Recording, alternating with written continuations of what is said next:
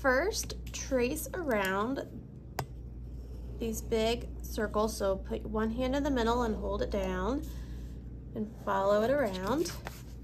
Next, with a ruler, set it down. Now you don't want it to be like way at the edge. You want to try to go through the middle and draw across.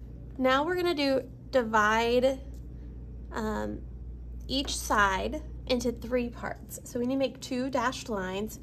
Since we want three equal parts, it's gonna be about this far up on each side. Okay. Make a dot somewhere close to the middle. Now you're gonna connect those little lines to the dot.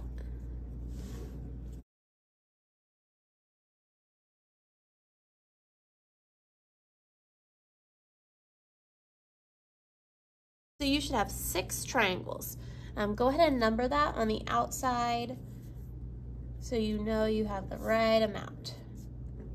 So the outer edge will be the bottom of the building and the farther up will be the top. So on each one, you're gonna draw wherever you want the roof of your houses to look like. They can be different heights.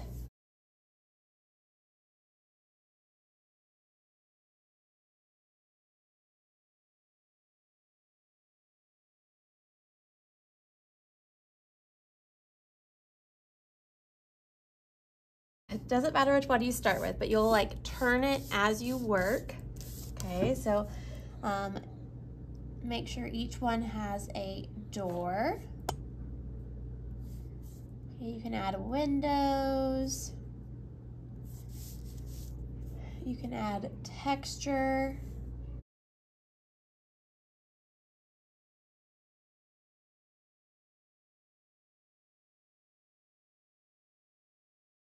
We will erase all of these lines that are here. Okay, those are lines we will erase from the roof to the center. Then we will go over it with a Sharpie.